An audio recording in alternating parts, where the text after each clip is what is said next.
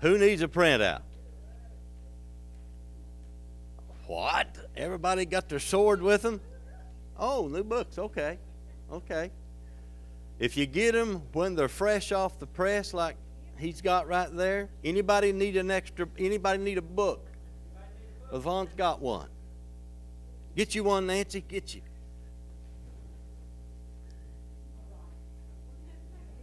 Anybody else? Oh, yeah. We're doing good this morning. Got books right out there, right off the press. And uh, I woke up this morning, looked out, and saw that weather. I didn't expect a little bit of snow with it. It's that old dry powder stuff. I don't think it's going to do anything. Uh, actually, we have more people this morning than we have on a normal morning. Now, figure that one out. But nevertheless, it's good to have you in here. And I hope and I pray that you have prepared your heart at home all week long so that when we get here on Sunday morning and we do Sunday school, that you can plug into the Holy Ghost as with everybody else should be able to plug in because we've made the soil of our spirit good ground to receive good seed. So this morning, it's good to be here and it's good to see everybody that is here. So I pray that you have looked over your Sunday school lesson. I know I need to try to make it a habit that uh, if you don't have a booklet, to tell you in advance, uh, like next last week, what this week's lesson will be. That way you'll have the opportunity to go through it and look and see what uh, the lesson's going to be about. give you a heads up on that. But uh, they, I didn't do that last week. I think we ran out of time last week. It was going so good, and then I found out that I had five more minutes and I could have finished the lesson. But uh, anyway, we're uh, here again this morning. Brian has had to be out of town, and this was to be his opening uh, uh cycle here. But nevertheless, he helps me when I'm in need, and I try to help him when he's in need. So uh, we can help each other, and that's the way it should be. So uh, this morning, we got a new cycle starting, and uh, wow, this is a great this is a great booklet here this morning. Uh, we're looking in the spring quarterly. That means it's right around the corner. Winter's over with, deer season's over with, so I'm ready for the sun. I'm ready for warm weather.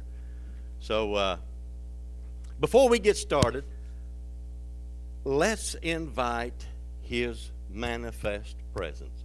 Folks, we know God is everywhere at all times. We know that. But He only manifests Himself where He is made welcome. And how many times have you, personally and individually, come into God's house and you didn't get your mind right and your heart right and you left just like you did when you came in? We came in God's house. We went through the motions, but He didn't show up, did He? Because we didn't prepare our hearts to be good ground, to receive the good seed. Because we reap what we sow, don't we? So this morning, let's invite the Holy Spirit here.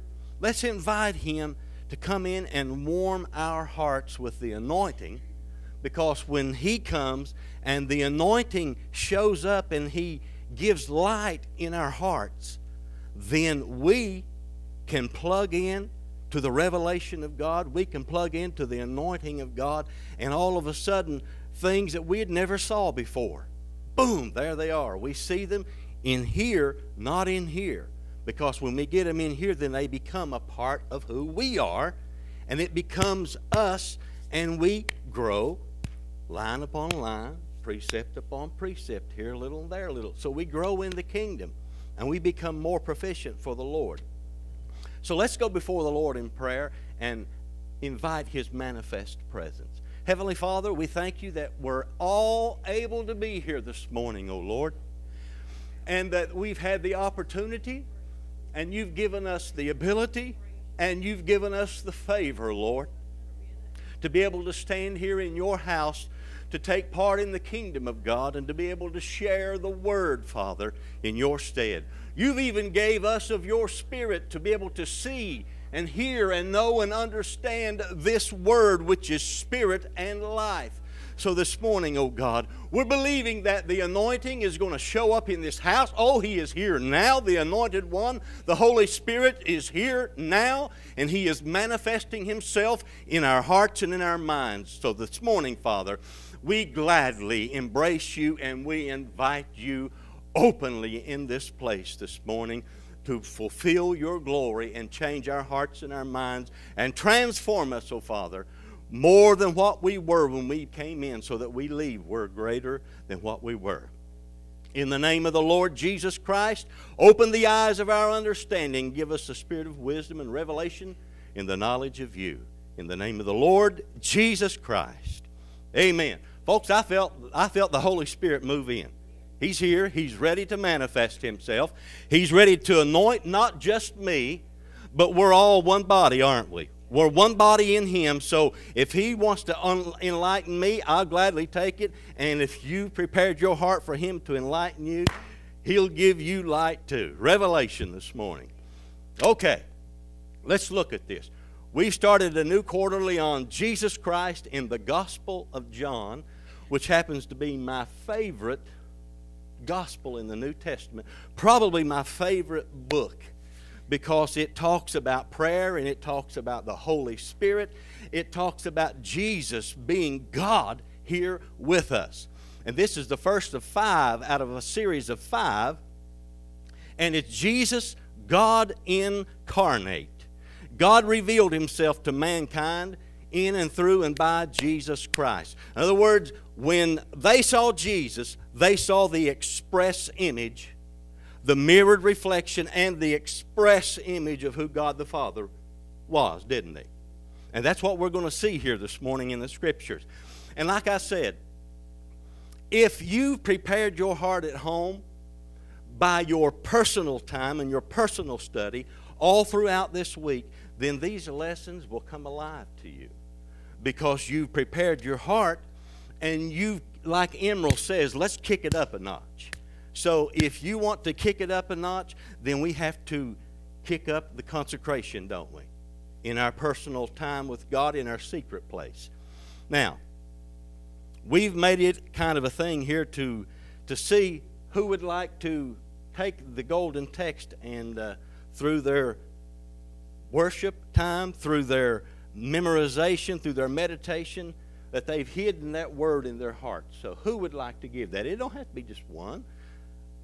Two or three of you can do it if you want to. It's up to you. Does anybody want to quote the golden text this morning beside Nancy?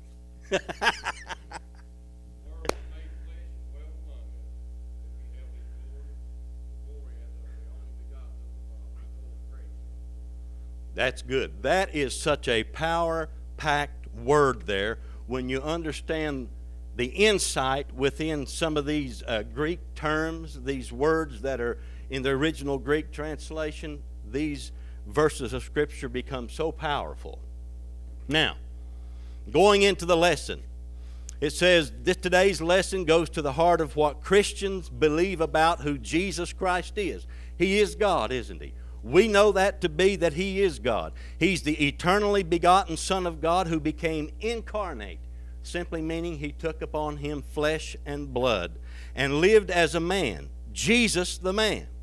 And because we believe this, we worship Jesus Christ as God who was with the Father and was with the Holy Spirit in the beginning when they created all things. And we know that for a fact because the Scripture says so the incarnation has such a profound significance on our lives that if we truly believe that the incarnation occurred, then we can't ignore that, can we? That it happened.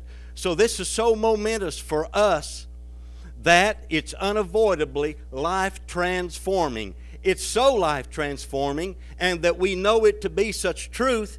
The proof that Jesus was incarnate is when you got saved, you went from darkness to light.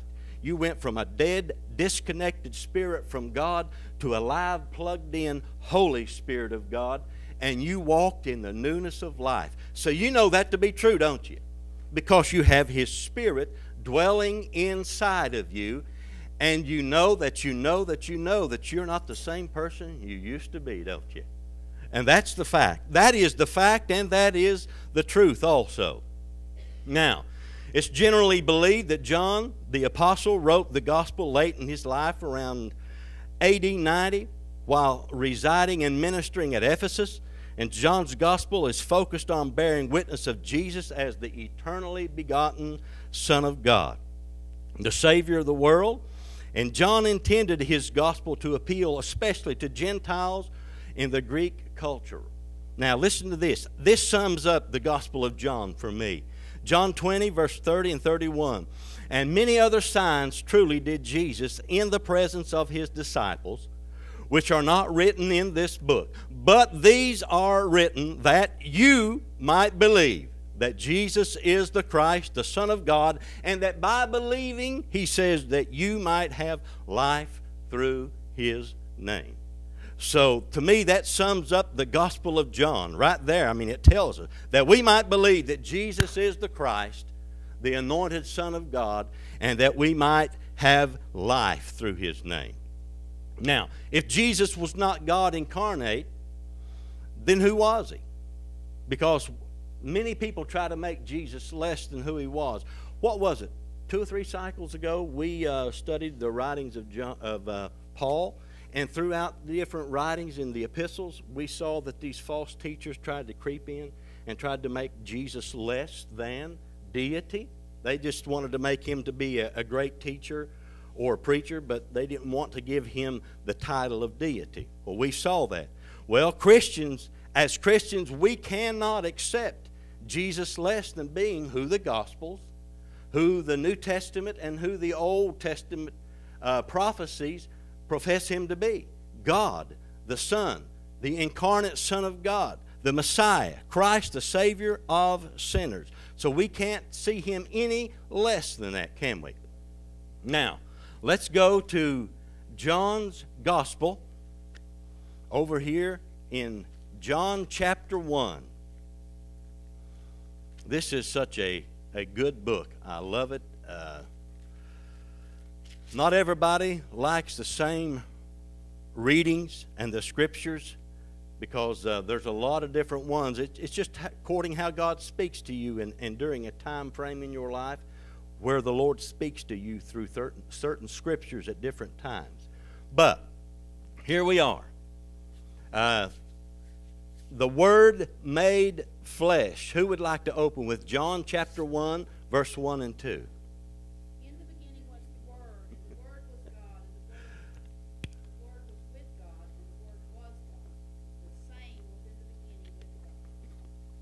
Okay? It says, in the beginning was the Word. Now, does that sound familiar to another scripture? Genesis chapter 1 and 1. I believe that's intentional here that John's showing a point here that he wants to show through Scripture, through the Old Testament, and that we know, uh, we already know who he's talking about. We know he's talking about Christ, don't we? But this was intentional here. It says, In the beginning was the Word. Just like in the beginning, God created. Well, that was intentional because I know I can only go back so far in my mind, and then I get to where I can't comprehend. So there's no other way to say it other than in the beginning. So he's going back to where it says God created, and he's using this intentional phrase to show a point here. He said, was the Word. Now, that frame or that uh, phrase there, word, uh, simply means uh, the Logos of God, which means thoughts, his attitudes, and his reasonings communicated or spoken. Now, before Jesus became incarnate, he was in spirit form. God is a spirit. So, Father, Son, and Holy Spirit, there wasn't a body. So, it says he was in the beginning, the Word was in the beginning, and the Word, in other words, the thoughts, the attitudes, and the reasonings of God, was with God, and the Word, the Logos, was God. So Jesus was in the beginning with the Father, And the proof that he was he must have been there before the beginning, which proves his eternal his eternal deity in order to show that he was there in the beginning. So, just like the Bible says that it's the revelation of God's nature and character and will, Jesus reveals the nature, the character, and the will of God, just like this Bible does. It's the spoken word of God conveyed in verbal form or in on page so that we can receive the word of God and it can change our lives and receive the word. So anybody got anything else they want to add to this? Okay.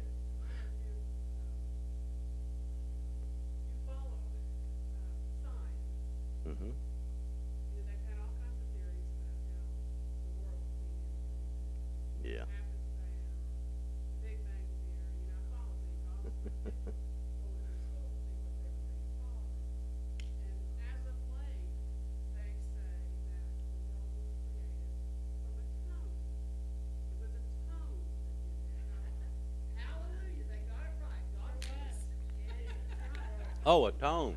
I didn't know what you were saying. Okay. Yeah, the, the word, the spoken word. okay. Now we're going to look in something here, and like she's saying, we're going to look at something maybe a little different angle than any way that you maybe have studied it or, or looked at it before in this next read here. And I'll try to slow down to, to get it really get the gist out of this. We'll be looking at John verses 3 through 5. Then we're going to skip and go up to verse 10. Not all those in between, but we're going to do 3 through 5 and then skip and go up to verse 10.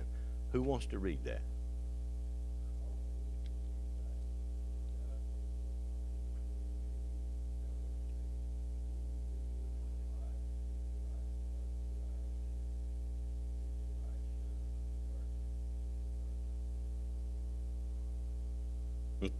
Okay? Now we saw that Jesus, before his incarnation, he was with the Father. And in other words, when God breathed, he took a breath to breathe, then Jesus became the expression of the Father, right?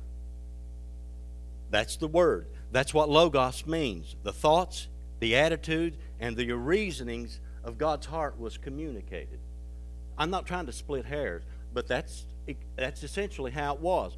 When God the Father drew a breath to breathe, Jesus became those words spoken in faith. And in an instance, like he said, and God said, Let there be light. And so when God breathed breath, that means spirit, when he breathed the Holy Spirit, Jesus became those words, and they went forth, and light was manifested. So it says here, all things were made by him.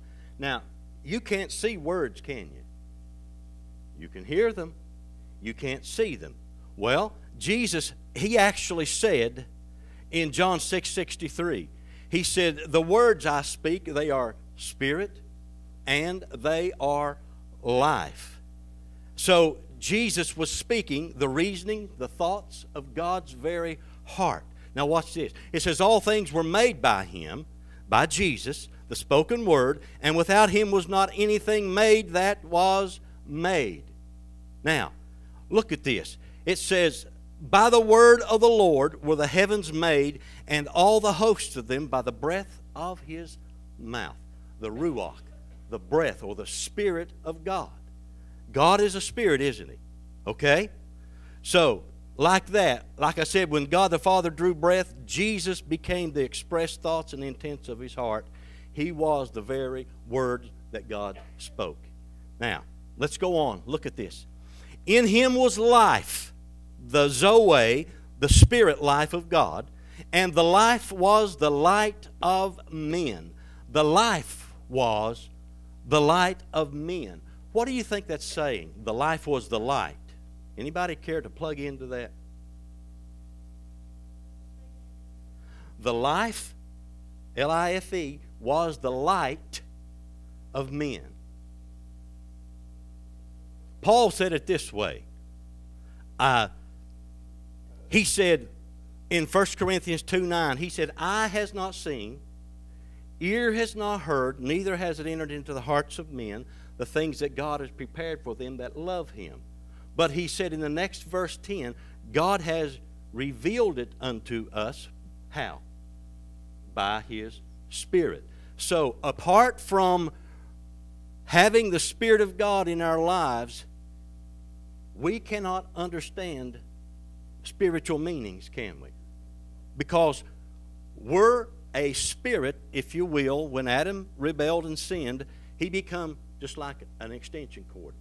He became unplugged from the light of God. So when we got saved, we got plugged back into the light.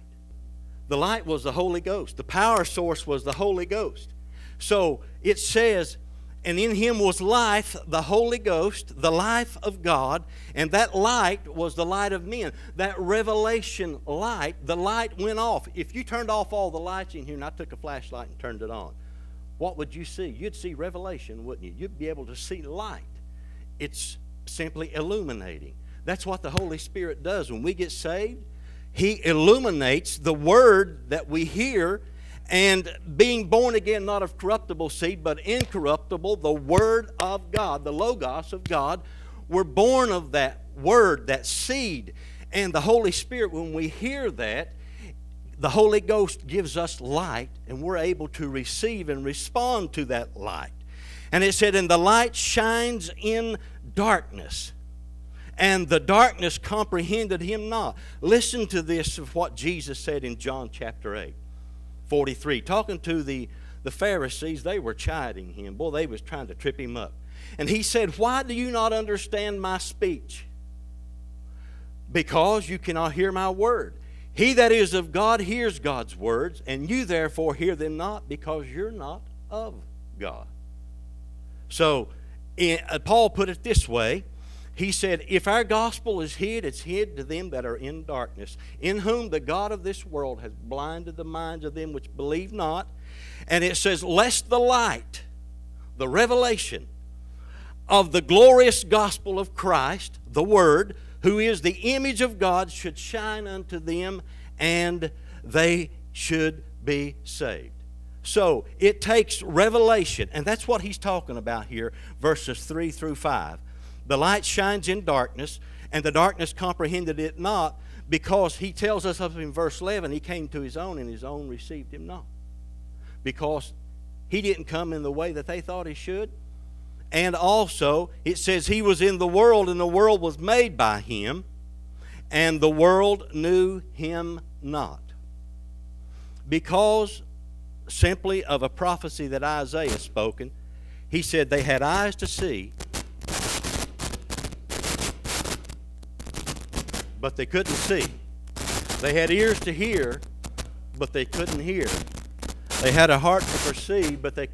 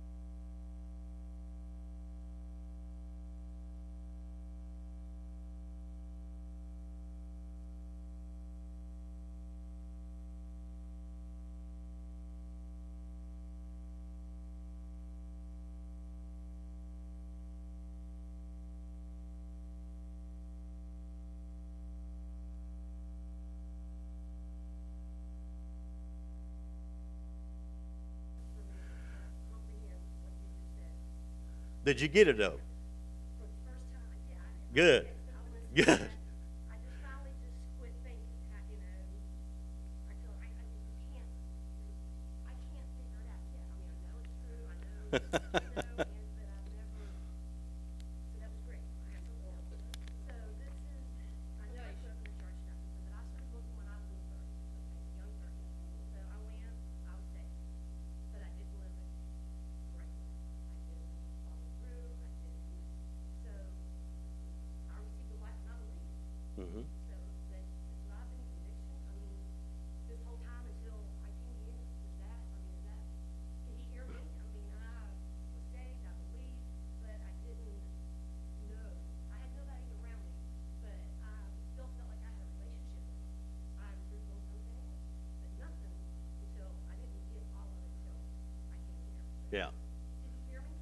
Sure he did. Because you had the witness. That just the thing of it is, as we grow and progress in grace and in the knowledge of the Word, we get more light. The more light we get, the more we're able to see. The more light, more revelation, spiritual, not head, but spiritual. And when you get that in here, that light goes off by the Holy Spirit, revelation. And the more you get, because Jesus said, You shall know the truth, and the truth shall make you free. Well, we have head knowledge truth about some things, but until that becomes heart knowledge, we're still in darkness on some things. So you got more light when you started coming here. Right. The Lord knows what He's doing. He's placing you in a place, in a position to where you can get light and grow and thrive as the garden of God. Good. okay.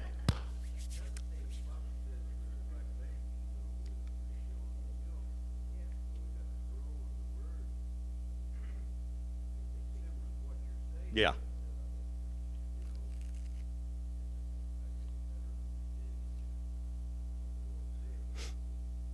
yeah. Yeah, we the more light we get, the more grace we get, the more revelation, the more understanding.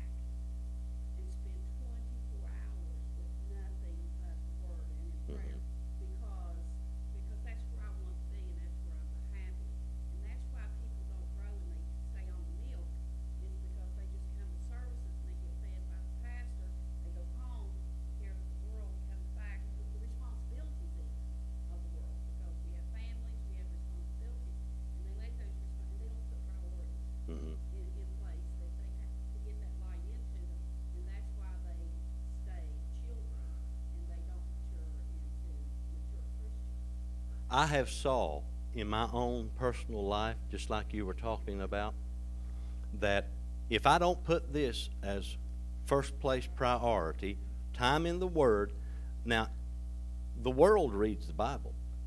I've worked with a lot of men that just they read the Bible religiously.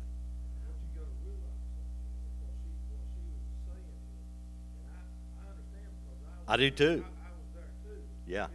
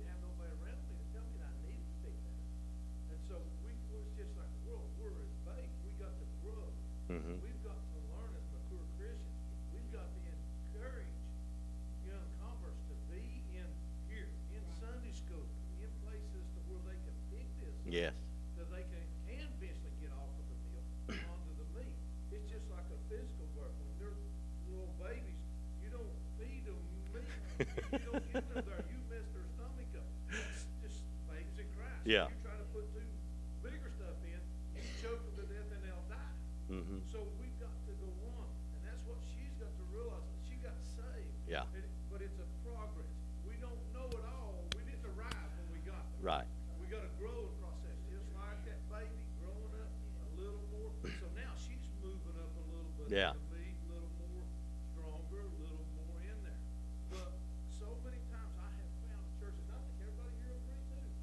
So many times we fail for young converts, especially, to teach them that they need to get in the Word.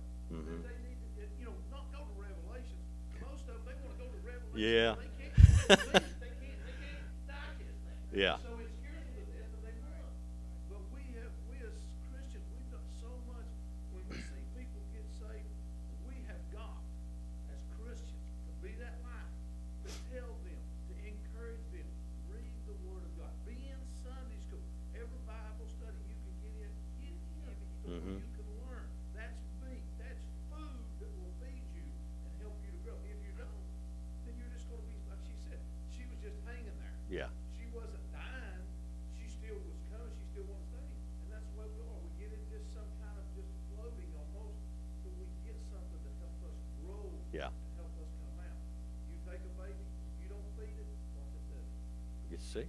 Just, It just gets sick, lulls. it's sickly, eventually it dies. Yeah. So, same as Christians. If we don't get them on a balanced meal of the Word of God and keep them on that balance and keep them going, then eventually they'll die. We've got to keep staying in the Word and growing that. And believe me, you'll never arrive. We, till, till we die, we'll still never learn. Yeah.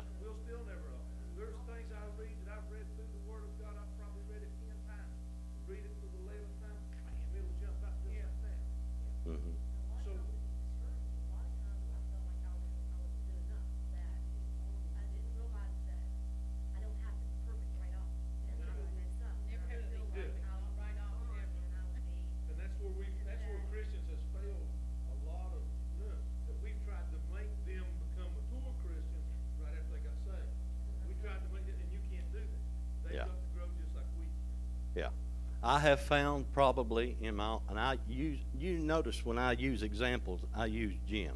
I don't use anybody else. But I've noted that it, it takes the study of the Word of God and it takes, this is what it takes for Jim. I have to be transparent every day of my life with God and pour myself out before Him in brokenness. Now that's Jim. When I can do that, I become completely transparent because there's no walls, there's no face mask, there's no hat I'm wearing. I'm not trying to be this or that. I'm just being completely honest and broken and God says those are the sacrifices that gets a hold of his attention. A broken heart and a contrite spirit.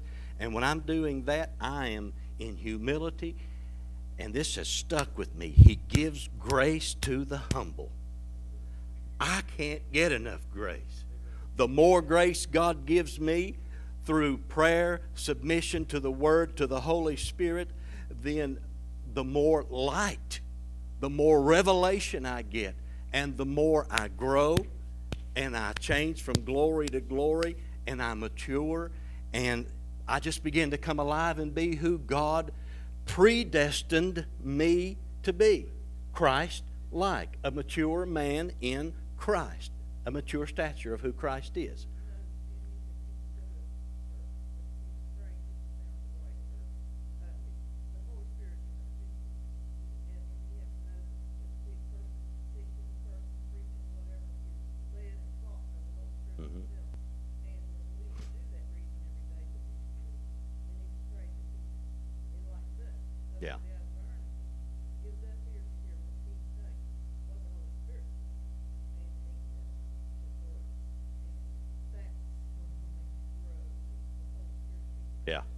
That's where prayer is a must.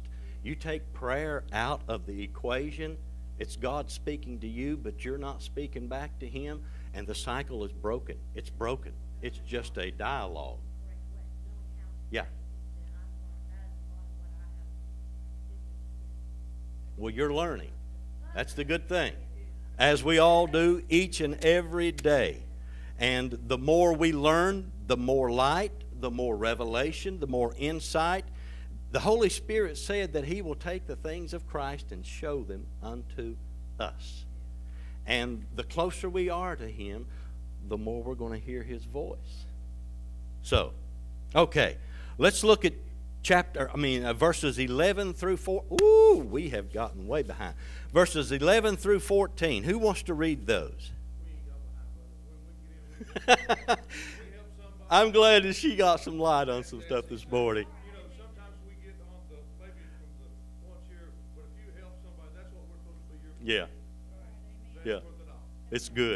on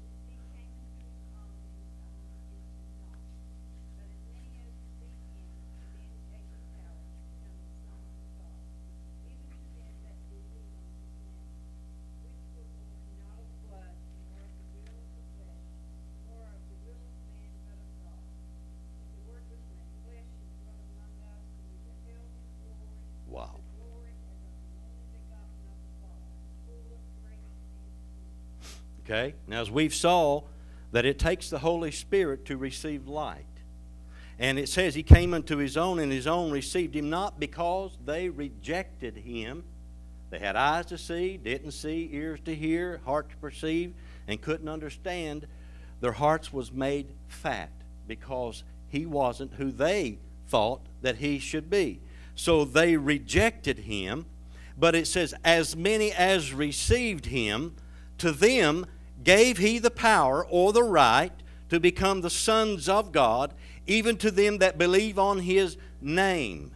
His name. Now it says, which were born not of the blood, not of blood, nor of the will of the flesh, nor of the will of man, but of God. They was born of the Word, and they was born of the Spirit, just like we talked about in Peter a while ago. And the Word was made flesh and dwelt among us, and we beheld his glory as the glory as the only begotten of the Father, full of grace and truth. The glory that Jesus had with the Father in the beginning, it was revealed. In other words, when you saw him, like I said, you saw the express. When you express something, what do you do? You speak it, don't you? So he was the express logos in thoughts and intentions of God's heart, wasn't he? So he became the expressed Word of God, the only begotten, the incarnate Son of God, full of grace, enablement, love. That word grace there is, is so vast. And truth. Again, goes back to the Word. Okay, now let's move on to uh, one more at least, and hopefully we can get maybe two more. It says in verse 18, it jumps up to 18, and it says, No man has seen God at any time. The only begotten Son, which is in the bosom, ooh, I love this, of the Father, he has declared him unto you. Now look at this. Let's break this down. It says, No man has seen God at any time. And then John repeats that same phrase over in his little epistle, 1 John chapter 4. And then Paul confirmed it again when he wrote to Timothy in uh, chapter 6 of 1 Timothy. he says, Whom no man has seen, nor can see. And then we see that Moses spoke with God face to face. Out of the darkness, God spoke to him. But we also see that he couldn't see his face. Then we saw that Isaiah saw God high and lifted up in a vision. We saw Ezekiel saw God in a vision, and it says he was a fire from the loins up and a fire from the loins down. So he saw, he's been seen in visions, and uh, we also saw that he was in the form of a man. The form of the fourth man that he saw in the fire was like the Son of God. Nebuchadnezzar saw him. And then we saw how Jacob wrestled with the angel. And, and I believe that was a pre incarnate visitation of Christ Himself. And uh, we still we see that no one has ever seen God literally as you and I see one another or physical objects. But we know here that He was made flesh and He dwelt among us. And it says, We have not seen Him, but the only begotten Son, which is in the bosom of the Father, He hath declared Him unto us. In other words, Jesus in the bosom, in the heart of the Father, that's where the words are expressed and they come from, don't they? From the abundance of the heart, the mouth speaks. So, from the abundance of the Father's heart, where Jesus was, in the bosom of God, he became, he became the very logos of the thoughts and the intents of the Father's heart. And he was revealed to us by the expression of his words when he came to speak to us the Word of God. Jesus, the man, the image, the exact representation of the invisible God, was revealed unto us who God the Father is. Anybody got anything else they want to add to that? Okay. Let's go to the next read. John chapter 12. Let's look at verses 44 and uh, 45. John chapter 12, verses 44 and 45. Who would like to read those? Jesus Christ said, He that believeth on me, believeth not on me, but on him that sent me. Mm. And he that seeth me, seeth him that sent me. Okay? We can see these words here Jesus was addressing to a crowd in Jerusalem only days before his crucifixion. And Jesus said to them, He that believes on me, you're actually not believing on me altogether, but on him that sent me. In other words, he said, when you see me and hear me and you believe on me, you're believing on the Father who sent me. And he that sees me sees him that sent me. So that's pretty elementary there. Again, through Jesus' attitude, his reasoning, and his thoughts conveyed, he said, I have revealed the Father to you. Okay, now let's look at verses 5 through 11. Uh, chapter 14. Go up to chapter 14. We'll probably close out with this. Verses 5 through 11.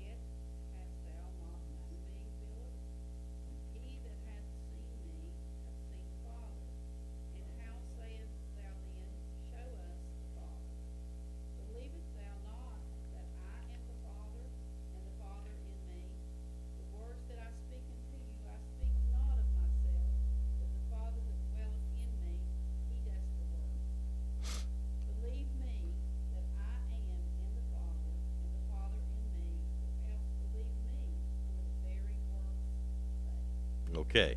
And we see here for months Jesus had been telling his disciples that he was going to have to go to Jerusalem, be crucified, buried, resurrected, ascend back to the Father. And here, Thomas was in a conversation with Jesus. Uh, Jesus here getting ready to go away in the opening of chapter 14, he tells them, Don't let your hearts be troubled. I go away to prepare a place for you. And then Thomas says unto him, Lord, we know, we don't know where you're going, and how can we know the way? So Jesus says to him, I am the way, the truth, and the life, and no man can come unto the Father but by me. And he says to Philip, If you'd known me, you should have known my Father also. And he says, From here on out, you know him and you've seen him. And Philip says, How, how do we know the Father? Show us. And he says, Have I been so long with you that you've not known me, Philip? Again, going back, if you've seen me, I am the express image in word and in deeds expressed of the Father. I'm a carbon copy. I'm a mirrored reflection of who the Father is in my thoughts, my words, my actions, my intentions, everything that He done. And He said, Believest thou not that I'm in the Father, and the Father in me? And the words, there it is, the Logos I speak. I speak not of myself, but of the Father that dwells in me. He does the works. In other words, the works that He did through the words backed Him up. He said, Believe me that I am in the Father. He was the Word of God coming out of the Father, and the Father in me, or else believe me for the very work's sake.